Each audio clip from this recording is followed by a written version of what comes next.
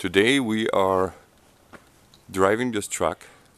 First time that I'm driving it. Actually, I just drove it here on my um, on my driveway a little bit back and forth.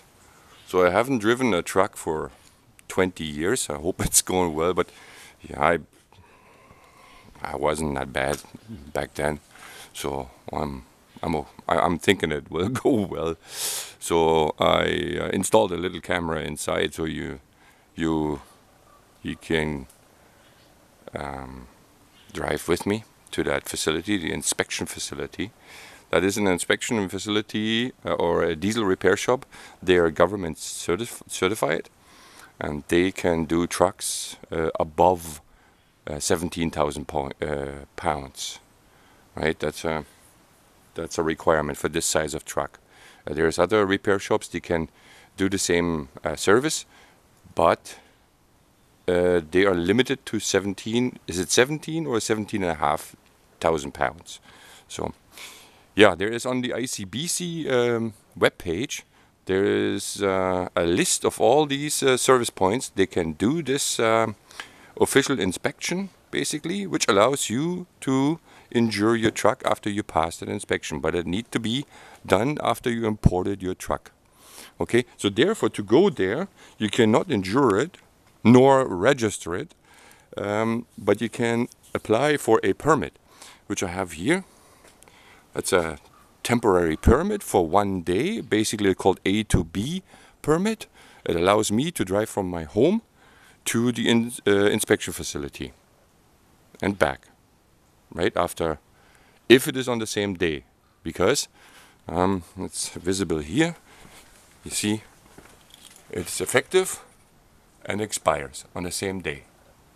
So if this, uh, for some reason, it, it takes longer uh, than this day, then you have to apply for a new permit. Okay, it's not that expensive. It costs 19 bucks. Um, in Canada, I'm always talking about inspection in Canada, right? Uh, I don't know how it is in the States uh, or in Mexico, but yeah, in Canada. So that's for now, and uh, I will fire up the GoPro inside if we start. Fire it up.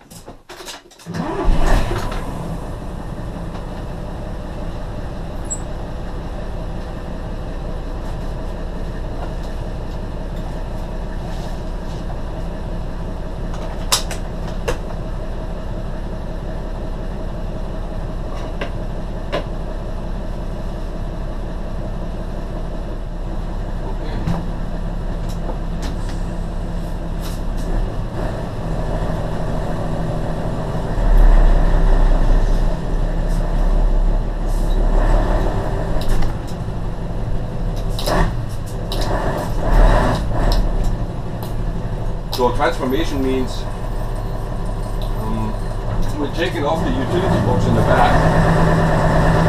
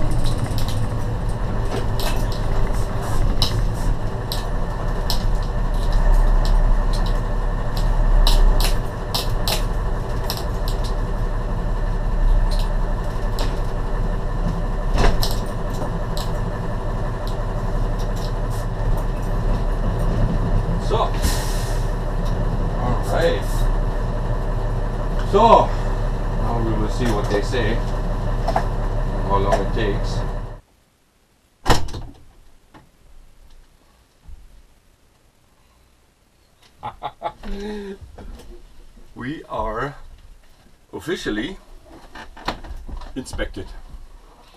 So we are we have the paperwork. Uh, inspection went through, and uh, now we go into ICBC and register this truck in British Columbia, Canada. So then is it officially in the country, officially in BC, and we're good to go. Can insure it and then drive it back and forth. And the actual work can begin. That's what I'm looking for. That's what took us almost seven months now. Throughout the pandemic now, it was a challenge to ship the truck. Um, but uh, it's here now, and we we are through it. So the first three videos I made is all about importing and and getting it ready for inspection and uh, um, a few a few points what you need to do.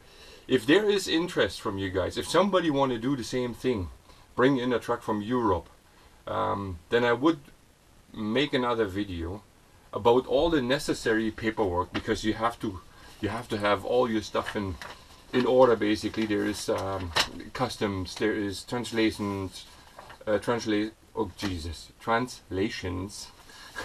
Um, bill of sales and uh, yada yada there's uh, releasing papers and this and that. So i would um, make an extra video about that. Not too long just uh, the main points which you need to know um, to have your paperwork in order. Because there is thousand ways to make it wrong you know but theoretically only one way to make it right right? So I would appreciate if somebody gives me a heads up uh, I don't know what about you guys uh, let me know in the comments down below. Um, if you're interested to see a video like that you know also what I would do is basically show you what web pages you should look up in Europe to find a truck like that. There is a few of them um, and I would give you an advice on that. So yeah let me know if you're interested in it.